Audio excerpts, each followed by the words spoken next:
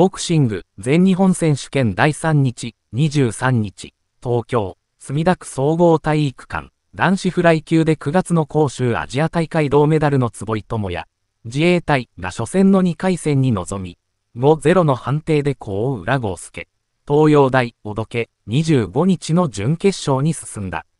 相手との距離を変えながら翻弄し、完勝。バンタム級で21年世界選手権を制している27歳は、相手の様子を見ながら、しっかり潰す、徹底的に攻略することだけを心がけた、と涼しい表情だった。